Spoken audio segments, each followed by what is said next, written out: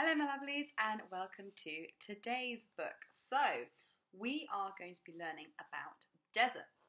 So, I have this great book called Living Habitats, the big picture living habitats. Now, it explores lots of different habitats, um, all sorts of different ones. So, not just deserts, but also rainforests and grasslands as well. And it has lots of beautiful um, illustrations. So that's our introduction page here says a world of habitats because there are all sorts of different habitats all over the world. Um, and so you can explore lots of different ones. Now, I'm not going to read the whole book today because it's a lot of information um, and it might be a bit much all at once. I'm going to dip into the book at other times during the year. So later on, we, we do an, our animals topic might record some more about the rainforest, for instance. Um, but for today, I'm going to read the section on the desert and also on the Arctic because the Arctic is a kind of cold desert. When we think desert, we always think of a really hot, sandy place, but the Arctic and Antarctica are very, very cold deserts. So that's what I'm going to do for this book today. So, really lovely book. It's quite a new discovery for me. It's a new book. I do love a new book. Um, my ever expanding bookshelf. Uh, yes, so this is a new discovery. Um, and let's have a look inside. really are lovely illustrations of our beautiful, precious world. Now, as we go in, we've got the author's name. So it's written by Jon Richards and illustrated by Josy Bloggs. Now, we've got a contents page. So this is a non-fiction book. Okay, it's not a story book. Non-fiction book. It gives us information so at the contents page, we can use a contents page to find particular parts in or particular sections of a book. Um, now, we have these in non-fiction books because with a non-fiction book you don't necessarily need to read it cover to cover. Now you can do, you might want to just totally read the whole book, fully immerse yourself in it and enjoy all the information that it has to offer. But sometimes you just want to look something up or just find out about one particular thing, um, which is what we're going to do today. So we're going to learn about the desert. So what you do is you think, okay, right, what, what's the bit I need to look up? What's the bit I need to find out about? You find that section and the contents page will tell you which pages to look on to find that section of the book. So we're looking for desert to start off with. Desert 10 to 11. So we're on pages 10 to 11. So let's find pages 10 to 11. Oh, okay. That's our introduction here. We'll start off with the introduction though before we go to pages 10 to 11. Okay. A world of habitats. Earth is a planet of huge contrasts from arid desert to dense forest and icy polar regions. So contrast when things aren't very similar. Okay, they aren't the same, they can be quite different. oh, excuse me, cannot get rid of that cough. These variations produce a broad range of habitats, each with their own amazing plants and animals. We've got the tropical zone. The equator is an imaginary line which runs around the middle of Earth. Either side of either side of this are the tropics, where the weather is usually hot all year round. There is often a lot of rain in the tropics, but there are also many dry regions. Then you have the temperate zone. The temperate zones are found to the north and south of the tropics, so north and south if you think of the Earth.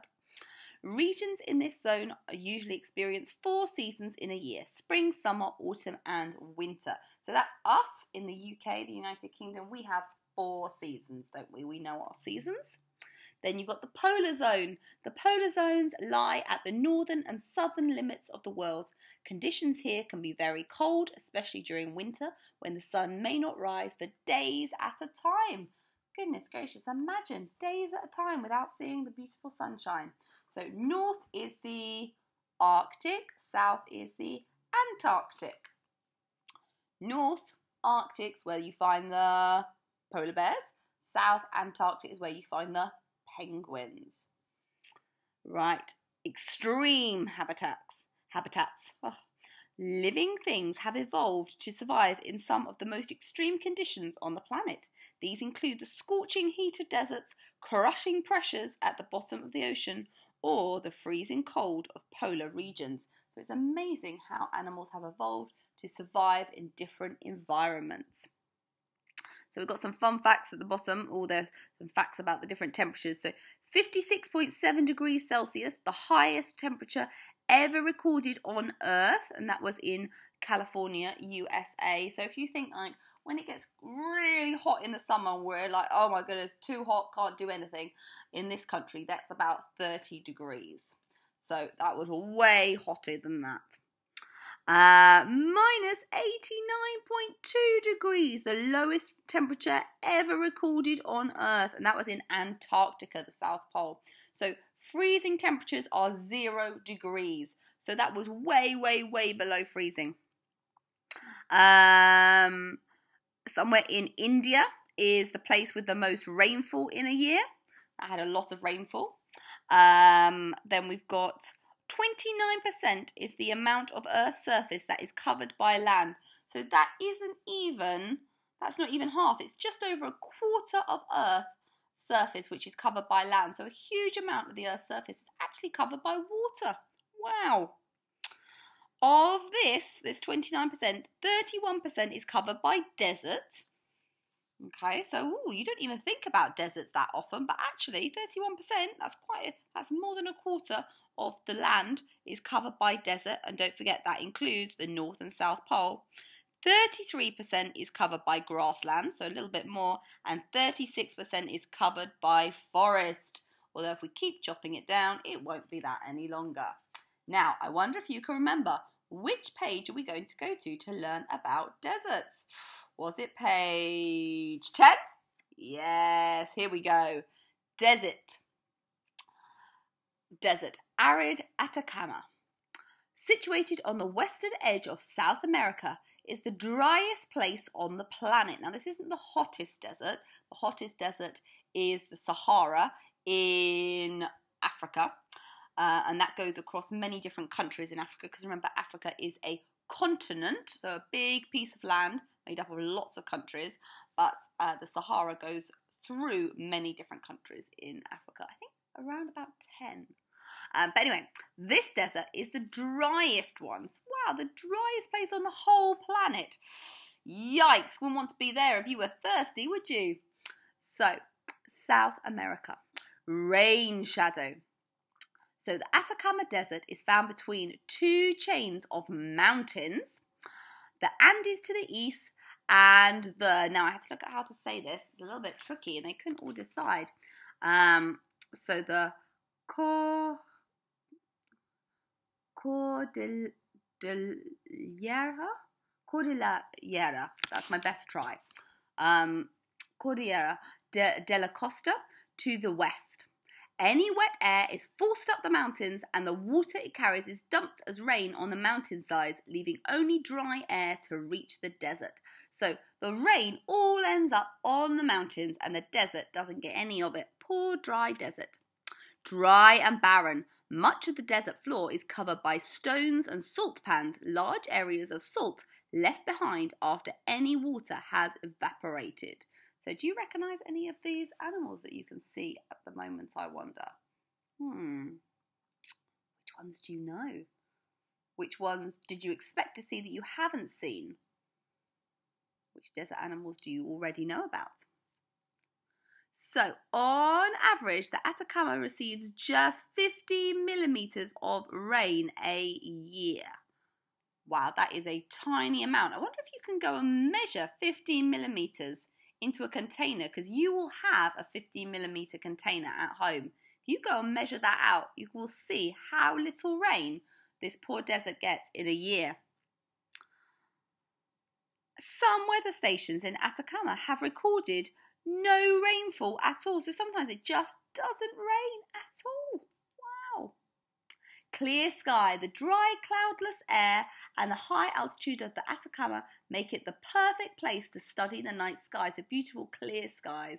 With little light pollution, the view of the stars at night is pin sharp. So, light pollution is something that um, you get when you have lots of people living somewhere. For example, like in cities, lots of light pollution because all the lights are from all the buildings. Um, and you also get it from aeroplanes and all that sort of thing as well. But if you're somewhere like over a desert, nobody's living there, who's got lots got, got lots of lights on or anything. So it's going to be very clear skies, uninterrupted by lots of human um, lights. So you can just study the beautiful night sky and study the stars. Coping with the dry. Few animals can survive such extreme conditions. Migrating birds visit seasonally to feed. Invertebrates include desert wasps and red scorpions. Andean flamingos eat algae in the salt flats, while Humboldt penguins live on the coast.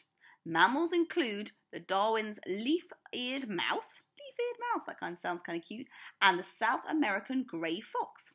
In grassy areas, there are small herds of guanacos, guanacos and vicuñas. Those are very similar to llamas. The rainfall blooms. You can see a few little plants here. Few plants live in the desert climate. These include herbs and flowers such as thyme and salt grass. Spiky cacti can live here, and even some trees such as the pimiento when rain does fall, the desert becomes carpeted with flowers that emerge to make the most of the water. Some parts of the desert are so dry that no animals or plants can survive there. Whoa. Temperatures during the day in the Atacama Desert, desert can reach 40 degrees Celsius but drop to just 5 degrees at night. So that's an important thing to remember about deserts is they're very, very hot during the day, but actually at night they can get quite cold. So there we go, deserts. Which other animals did you expect to see? What facts do you know about deserts? Now we are going to go to the Arctic now. So let's look back at our contents page. The Arctic, page 28 to 29. 28 to 29. Here we go. The Arctic northern wasteland. The Arctic region is dominated by a large ocean that is covered in thick sea ice for much of the year. Surrounding this are the tops of North America, Europe, and Asia, as well as hundreds of smaller islands. So remember, Arctic north, okay, up the top of the Earth. Midnight sun. Earth is tilted as it orbits the sun as it goes around the sun. It's not like right up, it's slightly tilted. This means that in the depths of winter, the sun does not rise at all, and the Arctic experiences darkness for days. Okay, the sun is still there, but the Arctic doesn't get its light because it's like the part of the world where the Arctic is is tilted away from the sun, the, the top part of the Earth. During the summer, the sun stays above the horizon, giving the region daylight for several days at a time. So it's like there's never any nighttime for days at a time. Weird. Plant life. Arctic plant life has to cope with freezing temperatures, poor soil, and permanently frozen ground. Small shrubs, mosses, and algae grow here. So, not lots grows, but again, it is amazing. Some things still manage to grow. Bird life. The Arctic is home to water birds such as fulmars, guillemots, and eiders. There are few land living birds, such as the Partemagen, Partimigan? Oh my goodness, testing my bird knowledge there. I don't know that one, children. You can go look it up. As well as birds of prey, including snowy owls. I definitely know that. Mammals. Coastal areas are home to seals, sea lions, and walruses. I love a walrus. They're so big, amazingly big, but I just think kind of cute as well. If you look out for um, stories in the news, children, then you will find that every now and again, recently, over the last couple of years, there have been walruses visiting our shores around around England and Scotland.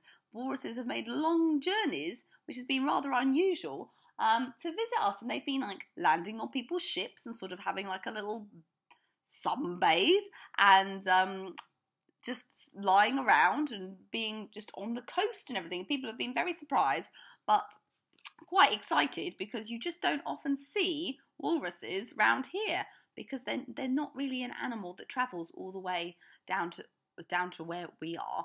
They, they tend to stay really north. But no, we've had some exciting um, walrus, walrus visits. Uh, do look it up, BBC News, with your adults. Have a little look. There are some nice stories about walruses visiting us. Um, okay, and also orcas, also known as killer whales. Reindeer and huge musk ox live inland as well as Arctic foxes and hares. Disappearing ice. This is sad.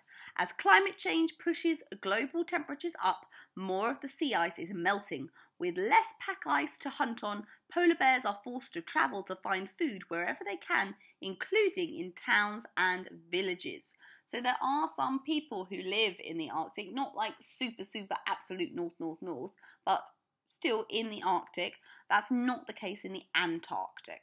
Okay, so here we go. We've got walrus, we've got seal, we've got some orcas, killer whales, we've got some polar bears, got some reindeer, got all those different kinds of birds there.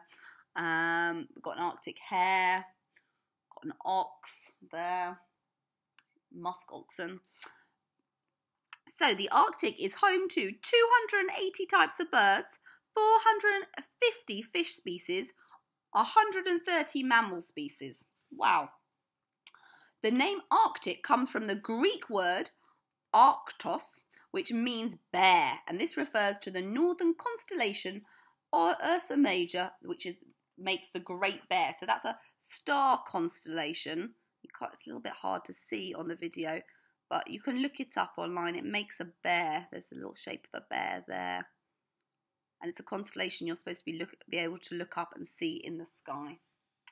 Final fact Arctic foxes and hares change the colour of their coats from white in winter to brown in the summer. Do you know why? I bet you do if you think about it.